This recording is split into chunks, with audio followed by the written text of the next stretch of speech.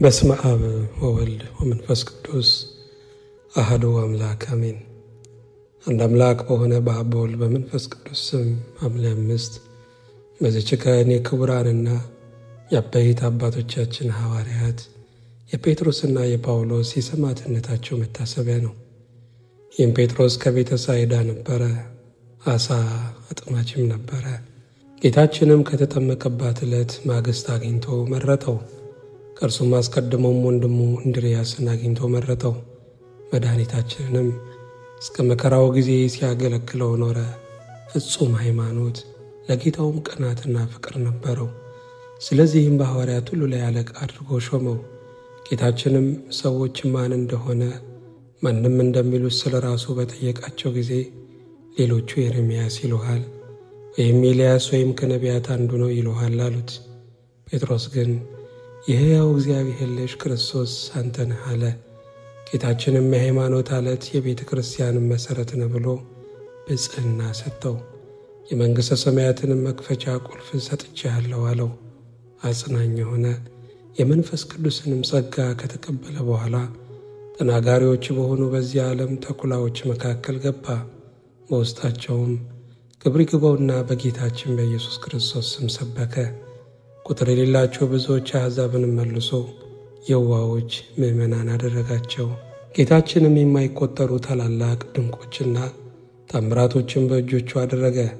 ጥቅም ያላቸው ሦስት መልእክቶችንም ጽፎ ለምዕመናን ላካቸው። ለማርቆስም ወንጌሉን ተርጉሞ አጽፎታል። ከዚህም በኋላ ወደ ሮሜ ከተማ ገባ። የከተማው መኳንንት ወደሚሰበሰቡበት ወደ ታላቁ የጨዋታ ቦታም ሄዶ በታላቅ ድምፅ እንዲህ ብሎ ተናገረ። የሚራሩ ብፁዓን ናቸው ለእርሳቸውም ይራሩላቸዋልና። የዚህንም ተከታታይ ቃሎች ተናገረ። በዚያም ከዚያ የነበሩ አራት የድንጋይ ምሰሶዎችም በሚያስፈራ ድምፅ አሜን አሉ። የተሰበሰቡትም ይህንን ቃል በሰሙ ጊዜ ደነገጡ። ከሰባ ዓመት ጀምሮ ሰይጣን ያደረበት አንድ ሰው ነበረ። ከእነዚያ ድንጋዮች ቃልን ስለሰማ ያን ጊዜ ጋኔኑ ጣለው። ከእርሱም ወጥተው ሄደ። መኳንንቱም ፈርተዋልና ስለዚህ ነገር እያደነቁ ወደ ቤታቸው ገቡ። ከከተማ መኳንንቶችም ከውስጦስ የሚባል አንዱ ወደ ቤቱ በገባ ጊዜ ስሟ ክሮሲያ ለምትባል ሚስቱ ዓለምን ስለመተው ዕዶችም ስለ መራራትና የመሳሰለውን ቃል ጴጥሮስ እንዴት እንዳስተማረ ነገራት። እርሷም በሰማች ጊዜ በልቧ ነቅታ ይህ ነገር መልካምና ድንቅ ነው አለች። ጴጥሮስ ያስተማረውንም ሁሉ ያደርጉ ዘንድ በአንድነት ተስማሙ። ከዚህም በኋላ ገንዘባቸውን ሁሉ ለድሆች ሰጡ። ከዕለት ራት በቀር ምንም አላስቀሩም። ከጥቂት ቀኖችም በኋላ ንጉሡ ስለ መንግሥት ሥራ ከእርሱ ጋር ለመመካከር በቶሎ እንዲደርስ ወደ እርሱ መልእክት ላከ። ቀውስጦስም ይህንም በሰማ ጊዜ ገንዘብ ስላልነበረው ፈርቶ ደነገጠ፣ ተጨነቀም። ከሚስቱ ጋር ተማከረ። እርሷ ግን ምክንያት አታድርግ፣ ነገር ግን ወደ ንጉሡ ሂድ፣ የጴጥሮስም አምላክ ጎዳናህን ያቀናልሃል አለችው። እርሱም ነገሯን ተቀብሎ ወደ ንጉሡ ሄደ። በመንገድም ከእግዚአብሔር የታዘዘ ብዙ በረከትን አገኘ። ወደ ንጉሡም ደረሰ። ንጉሡም በደስታና በክብር ተቀበለው። ከሦስት ዓመት በኋላም ወደ ቤቱ በተመለሰ ጊዜ ሁለቱ ልጆቹ የተመረዘ ውሃ ጠጥተው እነሆ ሙተው ነበረ። ሚስቱም ለእርሱ መንገርን ፈራች። ብዙ ምሳሌዎችንም ከመሰለችለት በኋላ ነገረችው። በሰማ ጊዜም እጅግ አዝኖ አለቀሰ።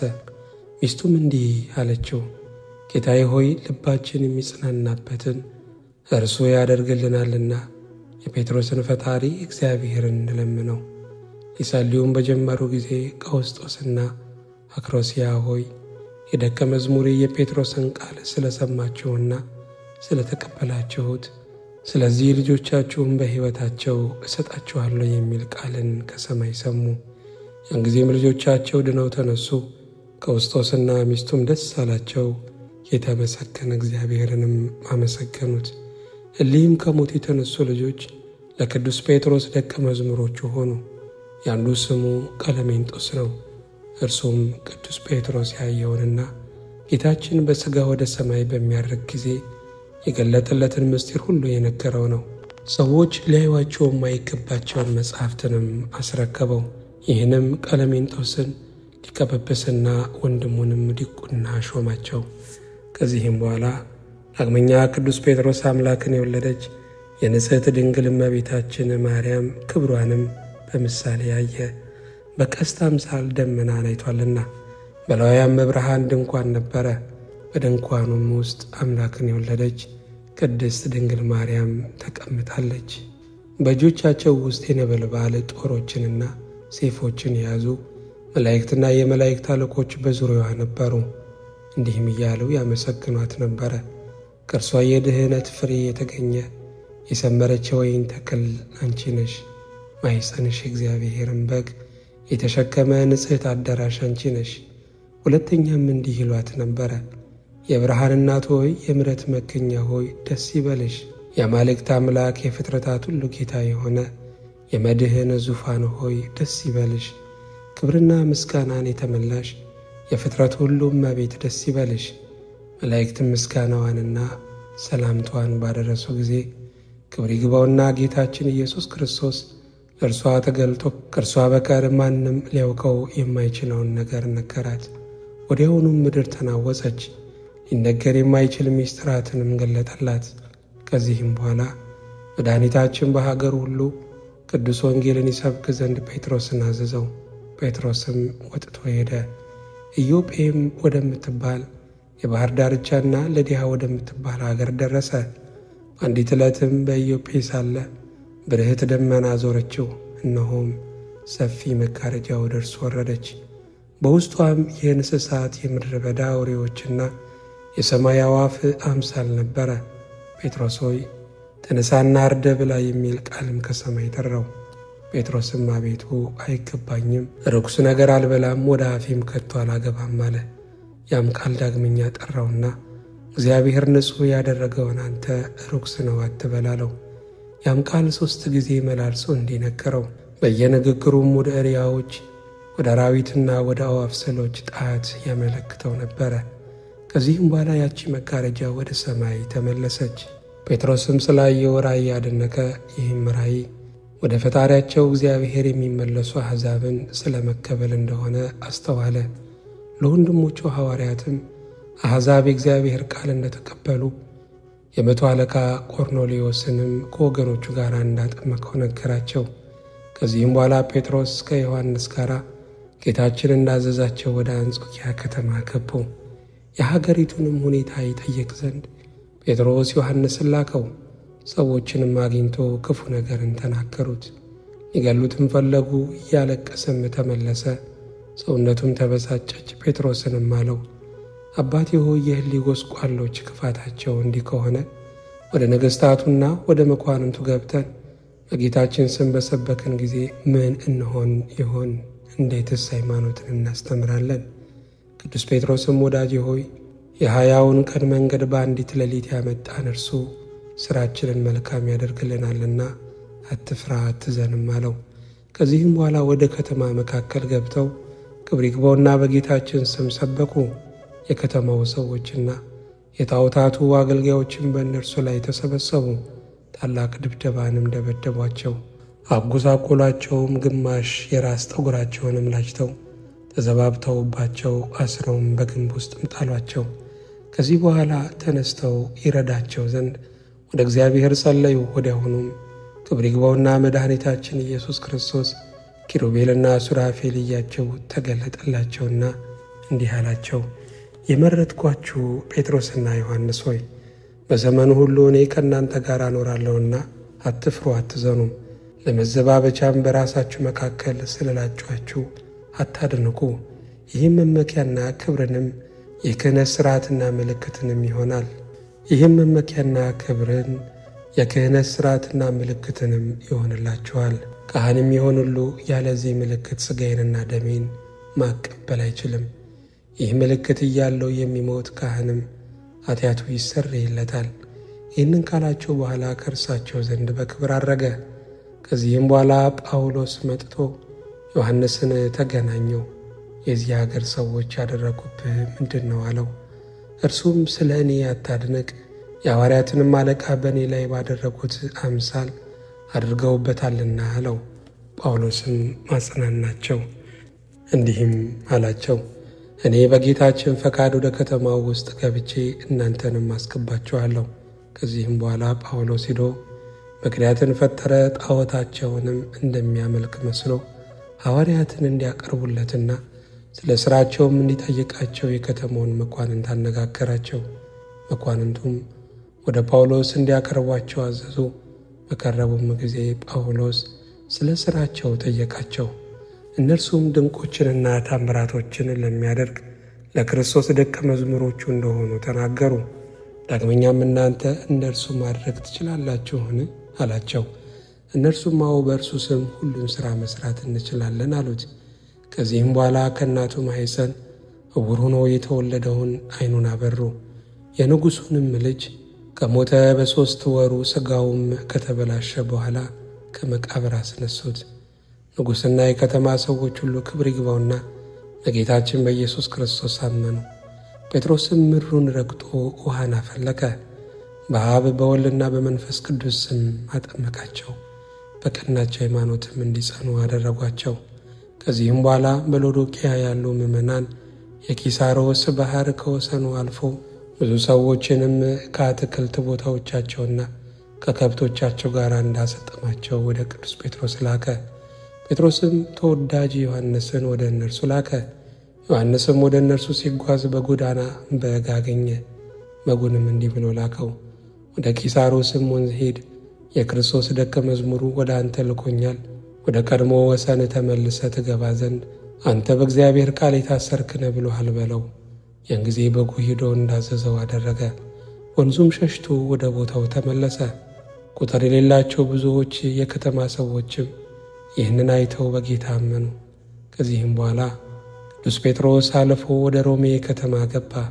በዚያም ሥራ መሠሪው ሲሞን ተቃወመው፣ እርሱንም ከአየር ላይ አውርዶ ጥሎ አጠፋው። ይህንንም ድንቅ ሥራ አይተው ብዙዎች ሕዝቦች አመኑ። የከተማው ገዢ የአክርጶስም ቁባቶችም የቅዱስ ጴጥሮስንም ትምህርት ተቀበሉ። ሌሎችም የከበሩ ብዙዎች ሴቶች ትምህርቱን በመቀበል ከባሎቻቸው ርቀው ንጽሕናቸውንም ጠበቁ። ስለዚህም ነገር ቅዱስ ጴጥሮስን ሊገሉት የሮሜ መኳንንት ተማከሩ። የአልታቢዮስ ሚስትም እንዳይገሉት ከሮሜ ከተማ ወጥቶ እንዲሄድ ወደ ቅዱስ ጴጥሮስ ላከች። ምዕመናን ወንድሞችም ውጣ እርሱም ቃላቸውንም ተቀበለ። ትጥቁንም ለውጦ ከከተማው ወጣ። በሚወጣበትም ጊዜ መስቀል ተሸክሞ ወደ ከተማ ሲገባ ጌታችንን አገኘውና አቤቱ ጌታዬ ወዴት ትሄዳለህ? አለው። ጌታም ልሰቀል ወደ ሮሜ ከተማ እሄዳለሁ ብሎ መለሰለት። ቅዱስ ጴጥሮስም አቤቱ ዳግመኛ ትሰቀላለህን? አለው። ያን ጊዜም ጎልማሳ ሳለ ወገብህን በገዛች ታጥቀ ወደ ወደድከው ትሄዳለህ፣ ታነሳና ሌላ ያስታጥቃሃል፣ ወደማትወደውም ይወስዶሃል ያለውን የጌታችንን ቃል አሰበ አስተዋለውም። ያን ጊዜም ወደ ከተማው ተመልሶ ክብር ይግባውና ከጌታችን ከኢየሱስ ክርስቶስ የሆነውን ለወንድሞች ነገራቸው። እነርሱም እጅግ አዘኑ። ንጉሥ ኔሮንም ቅዱስ ጴጥሮስን እንዲሰቅሉት አዘዘ። ሊሰቅሉትም በያዙት ጊዜ ወታደሮችን እንዲህ ብሎ ለመናቸው። የክብር ንጉሥ ጌታ ኢየሱስ ክርስቶስ ወደ ላይ ሆኖ ስለተሰቀለ እኔ ቁልቁል ልሰቀል ይገባኛል። ወዲያውኑም እንደነገራቸው ሰቀሉት። ተሰቅሎ ሳለም ለምዕመናን የሕይወትን ቃል አስተማራቸው። በቀናች ሃይማኖትም እንዲጸኑ አዘዛቸው። ከዚህም በኋላ ነፍሱን በእግዚአብሔር እጅ ሰጠ። ለእግዚአብሔር ምስጋና ይሁን። ያንም በአባታችን በቅዱስ ጴጥሮስ ጸሎት ይማረን፣ በረከቱም ከእኛ ጋር ትኑር ለዘላለሙ አሜን። በዚህችም ቀን ዳግመኛ ልሳነ እፍረት የክርስቶስ አንደበት የእውቀት አዘግት የቤተ ክርስቲያን መብራት የቅዱስ ሐዋርያው ጳውሎስ የሰማዕትነቱ መታሰቢያ ነው።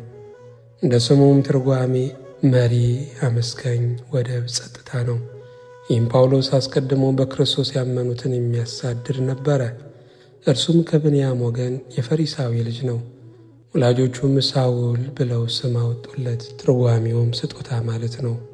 ቁመቱ ቀጥ ያለ፣ መልኩ ያማረ፣ ፊቱ ብሩህ፣ ቅላቱ እንደ ሮማን ቅርፍት ደበብ ያለ፣ ዓይኑም የተኳለ የሚመስል፣ አፍንጫው ቀጥ ያለ፣ ሸንጎበታም፣ ቁንጮ እንደ ጽጌረዳ ነበረ። እርሱም ሕገ ኦሪትን አዋቂ ነበረ። ለሕጉም ቀናተኛ ሆኖ ምዕመናንን አሳዳጅ ነበረ። ወደ ሊቀ ካህናቱም ሄዶ በመንገድ የሚያገኘው ሰው ቢኖር ወንዶችንና ሴቶችን እንደታሰሩ ወደ ኢየሩሳሌም ይመለሳቸው ዘንድ ለደማስቆ ከተማና ለምኩራቦች የፈቃድ ደብዳቤ ለመነ። ሲሄድም ወደ ደማስቆ ከተማ አቅራቢያ በደረሰ ጊዜ ድንገት ከሰማይ መብረቅ ብልጭ አለበት፣ በምድር ላይም ወደቀ። ወዲያውም ሳውል ሳውል ለምን ታሳድደኛለህ? የሚለውን ቃል ሰማ። ሳውልም አቤቱ አንተ ማነህ? አለው። አንተ የምታሳድደኝ የናዝሬቱ ኢየሱስ ነኝ። በሾለው ብረት ላይ ብትረግጥ አንተን ይጎዳሃል አለው። እየተንቀጠቀጠም አደነቀ። አቤቱ ምን እንዳደርግ ትሻለህ? አለው። ጌታም ተነሳና ወደ ከተማ ግባ፣ ልታደርገው የሚገባህን ከዚህ እነግርሃለሁ አለው። ከእርሱ ጋር ቆመው የነበሩ ሰዎችም ንግግሩን ይሰሙ ነበረ፣ ነገር ግን የሚያዩት አልነበረም። ሳውልም ከምድር ተነሳ፣ ዓይኖቹም ተገልጠው ሳሉ አያይም ነበር። እየመሩም ወደ ደማስቆ አስገቡት። በዚያም ሳያይ ሳይበላና ሳይጠጣ ሦስት ቀን ሰነበተ። በዚያም በደማስቆ ከደቀ መዛሙርቱ ወገን አናንያ የሚባል አንድ ሰው ነበረ። ጌታም በራእይ ተገለጠለትና አናንያ ብሎ ጠራው። እርሱም አቤቱ ጌታዬ እነሆኝ አለው። ጌታም ተነሳና ቀጥተኛ ወደምትባለው መንገድ ሂድ፣ በይሁዳ ቤትም ጠርሴስ ከሚባል አገር የመጣ ሳውል የሚባል ሰው ፈልግ፣ እርሱ አሁን ይጸልያልና አለው። አናንያ ግን መልሶ እንዲህ አለ፣ አቤቱ ስለዚያ ሰው በኢየሩሳሌም በቅዱሳኖች ላይ የሚያደርገውን ክፉ ነገር ሁሉ ከብዙ ሰዎች ሰምቻለሁ። ወደዚህም ከካህናቱ አለቃ አስፈቅዶ የመጣ ስምህን የሚፈሩትን ሁሉ ሊያስር ነው። ጌታችንም ተነሳና ሂድ፣ በአሕዛብና በነገሥታት በእስራኤልም ልጆች ፊት ስሜን ይሸከም ዘንድ ለእኔ የተመረጠ ካድርጌዋለሁና እኔም ስለ ስሜ መከራ ይቀበል ዘንድ እንዳለው አሳየዋለሁ። ያን ጊዜም ሐናንያ ሄደ፣ ወደ ቤትም ገባ። ወንድሜ ሳውል በመንገድ ስትመጣ የታየ ጌታችን ኢየሱስ ክርስቶስ ታይ ዘንድ የመንፈስ ቅዱስን ጸጋ ይሞላብህ ዘንድ ወደ አንተ ልኮኛል አለው። ያን ጊዜም የሸረሪት ድር የመሰለ ከዓይኖቹ ላይ ተገፎ ወደቀ፣ ዓይኖቹም ተገለጡ። ወዲያውም አየ፣ ተነስቶም ተጠመቀ፣ እህልም በልቶ በረታ። ከደቀ መዛሙርትም ጋር በደማስቆ ጥቂት ቀን ሰነበተ። በዚያው ጊዜ የእግዚአብሔር ልጅ ነው ብሎ ስለ ኢየሱስ ክርስቶስ ሰበከ፣ አስተማረም። የሰሙትም ሁሉ አደነቁ፣ እንዲህም አሉ፣ በኢየሩሳሌም ይህንን ስም የሚጠሩትን ሁሉ ያሳድድ የነበረ ይህ አልነበረምን? ወደዚህስ የመጣው እያሰረ ወደ ሊቀ ካህናቱ ሊወስዳቸው አይደለምን? አጽናኝ መንፈስ ቅዱስም አደረበት፣ እውነተኛውንም ሃይማኖት ግልጽ አድርጎ አስተማረ። ለኦሪት ሕግ የሚቀና እንደነበረ እንዲሁ ክብር ይግባውና ጌታችን ኢየሱስ ክርስቶስ ለሠራት ሕገ ወንጌል እጥፍ ድርብ ቅናትን የሚቀና ሆነ። ከዚህም በኋላ በአገሮች ሁሉ ዞሮ ሰበከ፣ በጌታችንም ስም ሰበከ። ድንቆችንና ታምራትንም አደረገ። ቁጥር የሌላቸው ብዙዎች አሕዛብንም አሳመናቸው። ነገር ግን ብዙ ጊዜ በመገረፍ በመደብደብና በመታሰር ብዙ መከራ ደረሰበት። መከራውንም ሁሉ ታግሶ በሁሉ ቦታ ዞሮ አስተማረ። በሐዋርያት ሥራ መጽሐፍ እንደተጻፈ የእግዚአብሔርን ሥራ ሲሰሩ ሲጾሙና ሲጸልዩ መንፈስ ቅዱስ እኔ እርሱን ለመረጥሁለት ሥራ ሳውልንና በርናባስን ለዩልኝ አላቸው። ከዚህም በኋላ ጾመውና ጸልየው እጃቸውንም በራሳቸው ላይ ጭነው ሾሟቸው። ከመንፈስ ቅዱስም ተሹመው ወደ ሴሌውቅያ ወረዱ። በደሴቱም ሁሉ ሲዘዋወሩ ጳፋ ወደምትባል አገር ደረሱ። እዚያም ሐሰተኛ ነቢይ የሆነ ስሙ በርያሱስ የሚባል አንድ ሥራየኛ ይሁዳዊ ሰው አገኙ። እርሱም ሰርጊዮስ ጳውሎስ ከሚባል ብልህ ሰው ከሆነ አገረ ገዢ ዘንድ የነበረ ነው። የእግዚአብሔርን ቃል ሊሰማ ወዶ በርናባስንና ሳውልን ጠራቸው። የስሙ ትርጓሜ እንዲህ ነበርና ኤልማስ የሚሉት የአስረኛ ሰው ይከራከራቸው ነበረ። ገዢውንም ማመንን ሊከለክለው ወዶ ነበረ። ጳውሎስ በተባለው ሳውል ላይም መንፈስ ቅዱስ መላበት። ተኮሮም ተመለከተው። ኃጢአትንና ክፋትን ሁሉ የተመላ የሰይጣን የጽድቅ ሁሉ ጠላት ሆይ የቀናውን የእግዚአብሔርን መንገድ እያጣመምህ ተው ብትባል እምቢ አልህ። እነሆ አሁን የእግዚአብሔር እጅ በአንተ ላይ ተቃታለች፣ ትታወራለህ፣ እስከ ዕድሜ ልክህም ፀሐይን አታይም አለው። ወዲያውንም ታወረ፣ ጨለማም ዋጠው። የሚመራውንም ፈለገ። ሀገረ ገዢውም የሆነውን አይቶ ደነገጠ፣ በጌታችንም አመነ። ከዚህም በኋላ ሂደው ወደ ሊቃኦንያ ከዚያም ወደ ልስጥራንና ደርቤን ከተማ ወደ አውራጃውም ሁሉ ገብተው አስተማሩ። በልስጥራን ከተማም ከእናቱ ማኅፀን ጀምሮ በልስጥራን ከተማም ከእናቱ ማኅፀን ጀምሮ እግሩ ልምሾ የሆነ አንድ ሰው ነበረ። ተቀምጦ ይኖር ነበረ እንጂ ልምሾ ከሆነ ጀምሮ ቁሞ አልሄደም። ጳውሎስንም ሲያስተምር አደመጠው። ጳውሎስም ተመልክቶ ሃይማኖት እንዳለው እንደሚድንም ተረዳ። ድምፁንም ከፍ አድርጎ በጌታችን በኢየሱስ ክርስቶስ ስም ተነሳና ቀጥ ብለህ ቁም እልሃለሁ አለው። ወዲያውኑ ተነስቶ ሄደ። አሕዛብም ጳውሎስ ያደረገውን አይተው በጌታችን አመኑ። እርሱም በዚያ ሳለ አይሁድ ከአንጾኪያ ከኢቆንያ መጥተው ልባቸውን እንዲያስቸክኑባቸው አሕዛብን አባበሏቸው። ጳውሎስንም በድንጋይ ደበደቡት፣ ጎትተው ወደ ውጭ አወጡት። በማግስቱም ከበርናባስ ጋር ደርቤን ከተማ ሄዱ። በዚያችም ከተማ አስተማሩ።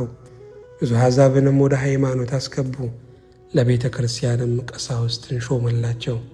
ከዚያም ወደ መቄዶንያ አልፈው ሄዱ። ጋኔንም ምዋርት የሚያሰራትን አንዲት ልጅ አገኙ። ከምታገኘው ዋጋ ለጌቶቿ ብዙ ትርፍን ታስገባ ነበረ። እነዚህ ሰዎች የልዑል እግዚአብሔር አገልጋዮች ናቸው፣ የሕይወትንም መንገድ ያስተምሯችኋል ብላ እየጮኸች ከጳውሎስ ኋላ ተከተለች። ብዙ ቀንም እንዲሁ ታደርግ ነበረ። ጳውሎስንም አሳዘነችው። መለስ ብሎም መንፈስ ርኩስ በጌታችን ኢየሱስ ክርስቶስ ስም እንድትወጣ አዝዣለሁ አለው። ወዲያውኑም ተዋት።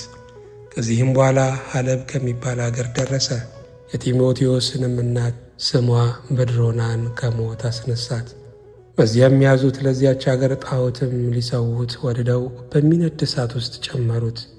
ስለ እነርሱም እየማለደ እጆቹን በመስቀል ምልክት አምሳል ዘረጋ። አሕዛብም ባዩት ጊዜ ስለዚህ ድንቅ ሥራ አደነቁ። ከእሳት መካከልም እንዲወጣ ማለዱት። ምንም ምንም ሳይነካው ወጣ፣ ሰገዱለትም። ክብር ይግባውና በጌታችንም አመኑ። የአገሩ ሹም አርስጦስም አመነ። ሰባቱ የጣዖት ካህናቶች ግን ሸሽተው ተሰወሩ። ቅዱስ ጳውሎስም በጭላት አምሳል የተቀረጸውን ምስል ጠራው። ምስሉም በአንበሳ ምሳሌ መጥቶ በምኵራቡ መካከል በጳውሎስ ፊት ቆመ። ቅዱስ ጳውሎስም የሚያመልኩ ካህናቶች ወዴት አሉ? አለው። አንበሳውም ያሉበትን እስክነግር ድረስ ጌታዬ ጥቂት ታገሰኝ አለው። ካህናቱም ወደ ተሸሸጉበት ሂዶ አንዱን አንገቱንም በአፉ ይዞ እየጎተተ አምጥቶ እንደ በድን በአደባባዩ መካከል ጣለው። ሰባቱንም እንዲሁ እያንዳንዱን እየጎተተ አመጣቸው። ሕዝቡም ሊገሏቸው ወደዱ። ጳውሎስም ዛሬ በዚች ከተማ ማዳን እንጂ መግደል አይገባም አለ።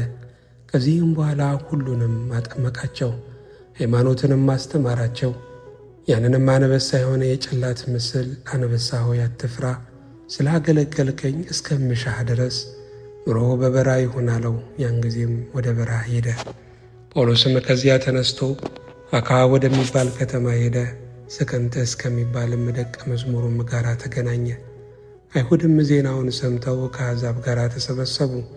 ይዘውም ጭንቅ የሆነ ሰቃይንም አሰቃዩት። ዳግመኛም ሁለት በሮችንም አመጡ። ከስንቅጥስ ጋርም አስረው በከተማው ጥጋጥግ በሰለታም ድንጋይ ላይ አስኮተቷቸው። ደማቸውም እንደ ውሃ ፈሰሰ። አጥንታቸውም እስከሚታይ ድረስ ሥጋቸው ተቆራረጠ። ወደ ጌታም ጸለዩ። ያን ጊዜም በሮቹ ከሚነዳቸው ጋር ድንጋይ ሆኑ። ሕዝቡም ባዩ ጊዜ ለመኮንኑ ነገሩት። እርሱም ተቆጣ። ወደ እርሱም እንዲያቀርቧቸውና በድንጋይ እንዲወግሯቸውም አዘዘ። በቅዱስ ጳውሎስም ላይ እጅግ ተቆጥቶ አንተ የሥራዬ ሰው እነሆ አሰቃይሃለሁ አለው። በበሬ ቅርጽ የተሠሩ ሁለት የናስ ቀፎዎችንም ያመጡ ዘንድ አዘዘ። ዝፍት ሙጫና ድኝ አምጥተው በውጭ ቀላቅለው ሁለቱን የናስ ቀፎዎች በውስጥም በውጭም ቀቧቸው። ሐዋርያትንም በውስጥ ጨምረው በእሳት ምድጃ ውስጥም አስገቧቸው። ሦስት መዓልትና ሦስት ሌሊትም እሳት አነደዱባቸው። መድኃኒታችን ክርስቶስም ከመላእክቶች ጋር መጣ። እሳቱንም ከዚያ ፈልሶ ወደ ከተማው ውስጥም ገብቶ የከተማውን ሰዎች ሁሉ እንዲከባቸው አደረገው። በተጨነቁም ጊዜ ጮኹ፣ አለቀሱም።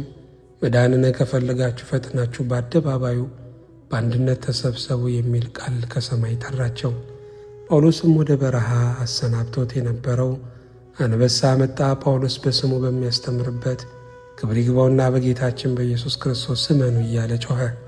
ከዚህም በኋላ ወደ እሳቱ ምድጃ ተመልሶ ጳውሎስንና ስክንጥስን ከእሳት ውስጥ ሙጡ አላቸው። ያን ጊዜም የራሳቸው ጠጉርስ እንኳን ሳይቀነብር ወጡ፣ በላያቸውም ላይ የቃጠሎ ሽታ የለም። ይህንንም ድንቅ ሥራ አይተው በጌታችን በናዝሬቱ በኢየሱስ ክርስቶስ እናምናለን እያሉ ጮኹ። ከዚህም በኋላ በአብ በወልድ በመንፈስ ቅዱስ ስም አጠመቃቸው። ስቅንጥስንም ቅስና ሾምላቸው። ከዚህ በኋላም ከሐዋርያው ፊልጶስ ጋር ወደ ሁለት አገሮች በአንድነት ሄዱ። በዚያም በጌታችን ስም ሰበኩ። የሀገሩ አለቆችም የያዟቸው እጆቻቸውንና እግሮቻቸውንም አሰሯቸው። በአንገቶቻቸውም የብረት ሰንሰለቶችን አስገቡ። ራሳቸውንም የሚሸፍን የብረት ቆብንም ሰሩላቸው። ዳግመኛም በእጅና በመሃል እጅ በጣቶች ምሳሌ ሰርተው እጆቻቸውና በክንዶቻቸው እያንዳንዱንም የብረት እጅ ጨመሩ። ከብረቶችም ጋር ቸነክሯቸው። ሁለተኛም እስከ አንገት የሚደርስ በትከሻ አምሳልም ሰሩ። በፊትና በኋላም ቸነከሯቸው። ደግሞም መላ አካላቸውን የሚከብና ከአካላቸው ምንም እንዳይታይ የሚሸፍን የብረት ሰሌዳ ሰሩ። ከወገቦቻቸውም ጋር ቸነከሩት። ችንካሮችም ተረከዛቸውን ነድለው ወደ ጭኖቻቸው እስከሚደርሱና እስከሚያቆስሏቸው ድረስ የብረት ጫማ ሰርተው እግሮቻቸውን ቸነከሩ። ደግሞ በመሸፈኛ አምሳልም የብረት ሰናፊል ሰሩ። ቀማሚዎችም መጡ። እንደ መክሊት የሚመዘን እርሳስንም አመጡ። ታላቅ የብረት ጋንንም ሰባት ልጥር የሰሊጥ ቅባትን አመጡ። ስቡንና አደሮ ማሩንም የእሳቱንም ኃይል አብዝቶ የሚያነደውን ቅመሙን ከሙጫውና ከድኙ ጋር ቀላቀሉ። ከዋርካና ከቁልቋል ከቅንጭብም ደም ሰባት ልጥር አንድ የወይን አረግንና ቅባት ያላቸውን እንጨቶችን ሁሉ አመጡ። በጋን ውስጥም ያበሰሉትንና ያሟሙትንም ልዩ ልዩ ቅመማ ቅመም አምጥተው ከሥጋቸው ጋር እስከሚጣበቅ በቅዱሳን ሐዋርያት ሥጋ ላይ ባሉት ሰሌዳዎች ውስጥም ጨመሩት። ከእግራቸው እስከ ራሳቸውም ከፍ ከፍ እስከሚል ድረስ በእሳት ያቀለጡትን ያንን እርሳስ ጨመሩ። እርዝመቱ አስራ አምስት ክንድ በሆነ ወፍራም የጥድ ምሰሶ ላይም አቆሟቸውና ከበታቻቸው ፍሬ በሌለው በወይን አረግና በተልባ እሳቱን አቀጣጥለው አነደዱ። የእሳቱ ነበልባልም ከሥጋቸው በላይ ከፍ ከፍ አለ። ሐዋርያት ግን ወደ እግዚአብሔር ይጸልዩ ነበረ። ከመኳንንቱም በአንዱ ልብ ርኅራኄን አሳደረና እንዲፈቷቸው አዞ ፈታቸው። በፈቷቸውና ሰሌዳውንም ከሥጋቸው ላይ ባስወገዱ ጊዜ ቆዳቸው ተገፈፈና ከብረቱ ሰሌዳዎች ጋር ወጣ። ብዙ ደምም ከሥጋቸው ፈሰሰ። ሰይጣንም በከተማ ሰዎች ልብ አደረና ሐዋርያትን ወደ እሳት ውስጥ መለሷቸው። ያን ጊዜ ጌታችን ወርዶ የእሳቱን ነበልባል አጠፋው። ዝናምንም የተመላች ብርህት ደመና መጥታ ቅዱሳን ሐዋርያትን ከበበቻቸው። በዚያችም አገር አንድ ጊዜ በድንጋይ በመወገር በፍላጻ በመንደፍ ብዙ ተሰቃዩ። ከዚህም በኋላ ሙታንን ባነሱ ጊዜ የከተማው ሰዎች ሁሉ አመኑ፣ አጠመቋቸውም። ቤተ ክርስቲያንንም ሰሩላቸው፣ ካህናትንም ሾሙላቸው። በቀናች ሃይማኖትም እስኪጸኑ አስተማሯቸው። ከዚያም ወጥተው ጌታችን ወዳዘዛቸው ወደ ሌላ ሀገር ሄዱ። ክብር ይግባውና ጌታችን ኢየሱስ ክርስቶስ ለጳውሎስ ተገለጸለትና የመረጥኩ ጳውሎስ ሆይ ሰላም ላንተ ይሁን። መታሰቢያህን የሚያደርገውን በስምህ ቤተ ክርስቲያን የሚሠራውንና በውስጧም የሚጸልየውን ስዕለትንና መባንም የሚሰጠውን በመታሰቢያህም ቀለዶች የሚመጸውተውን ሁሉ ከአንተ ጋር በመንግሥት ሰማያት አኖራቸዋለሁ አለው። በስምህ የታነጹትንም አብያተ ክርስቲያናት መላእክቶቼን እንዲጠብቋቸው አድርጋቸዋለሁ። ብዙ ቃል ኪዳንም ሰጠው። በመለኮታዊ አፉ አፉንም ሳመውና ከእርሱ ዘንድም ወደ ሰማይ በክብር አረገ። ከዚህም በኋላ ኢልዋሪቆን ወደምትባልም ታላቅ አገር እስከሚደርስ በብዙ አገሮች ውስጥም ተመላለሰ። በዚያም የብርሃን እናት እመቤታችን ቅድስት ድንግል ማርያም ተገለጸችለት። አረጋጋችው፣ ረዳችውም። በመጋቢት 29 እንደ ጻፍ ነው የሀገሩን ሰዎች እንዲያጠምቃቸውና እንዲያስተምራቸው አዘዘችው። ከዚህም በኋላ ወደ ሮሜ ከተማ ገብቶ በውስጧ ሰበከ። በስብከቱም ብዙዎች ሰዎች አምነው የክርስትና ጥምቀትን አጠመቃቸው። በመጽሐፍትነትም የታወቁ አስራ አራት መልእክቶችን ጻፈ። የመጀመሪያ መልእክቱም ለሮሜ የተጻፈች ናት። መልካም ሩጫውንም ከፈጸመ በኋላ ንጉሥ ኔሮን ይዞ ጽኑ ስቃይን አሰቃየው። ራሱንም በሰይፍ እንዲቆርጡት ለሰያፊ ሰጠው። ከሰያፊውም ጋር አልፎ ሲሄድ ከንጉሥ ኔሮን ዘመዶች ወገን የሆነች አንዲት ብላቴና አገኘችው። እርሷም ክብር ይግባውና በጌታችን ያመነች ነበረች። ስለ እርሱም አለቀሰች። መጎናጸፊያሽንም ስጭኝ፣ እኔም ዛሬ እመልስልሻለሁ አላት። እሷም መጎናጸፊያዋንም ሰጠችውና ራስ ወደሚቆርጡበትም ቦታ ሄደ። ለሰያፊውም ራሱን ባዘነበለ ጊዜ በመጎናጸፊያዋ ፊቱንም ሸፈነ። ሰያፊውም የቅዱስ ጳውሎስን ራስ ቆርጦ በዚያች ብላቴና መጎናጸፊያ እንደተሸፈነ ጣለው። ሰያፊውም ጳውሎስን እንደገደለው ለንጉሥ ሊነግረው በተመለሰ ጊዜ ያቺ ብላቴና አገኘችው። ያ ጳውሎስ ወዴት አለ አለችው። ራስ በሚቆረጥበት ቦታ ወድቋል፣ ራሱን በመጎናጸፊያሽም ተሸፍኗል አላት። እሷም እንዲህ ብላ መለሰችለት፣ ዋሽተሃል። እነሆ ጴጥሮስና ጳውሎስ በእኔ ዘንድም አልፈው ሄዱ። እነርሱም የመንግሥት ልብሶችንም ለብሰዋል፣ በራሳቸውም ላይ በዕንቁ የተጌጡ ዓይንን የሚበዘብዙ አክሊላትን አድርገዋል። መጎናጸፊያዬንም ሰጡኝ። እርሷም እነኋት ተመልከታት ብላ ለዚያ ሰያፊ አሳየችው። ከእርሱ ጋር ለነበሩትም አሳየቻቸው። አይተውም አደነቁ። ስለዚህም ክብር ይግባውና በጌታችን በኢየሱስ ክርስቶስ አመኑ። የዚህም ሐዋርያው ጳውሎስ ታምራቶቹ ቁጥር የሌላቸው እጅግ የበዙ ናቸው። እግዚአብሔር ምስጋና ይሁን፣ እኛንም በጸሎቱ ይማረን፣ በረከቱም ከሁላችን ሕዝበ ክርስቲያን ጋር ለዘላለሙ ጸንቶ ይኖር አሜን። በዚች ቀን የሰባ ሁለቱ አርድእት መታሰቢያቸው ነው። በጋዛ አገረ ሰማዕት የሆነው የይስሐቅና የደብረ ዓሣ ጻድቃንም መታሰቢያቸው ነው። በረከታቸው ከእኛ ጋር ትኑር ለዘላለሙ አሜን። በዚች ቀን የመላእክት አለቃ የሳቁኤል የበዓሉ መታሰቢያው ነው። አማላጅነቱ ከእኛ ጋር ይሁን ለዘላለሙ አሜን።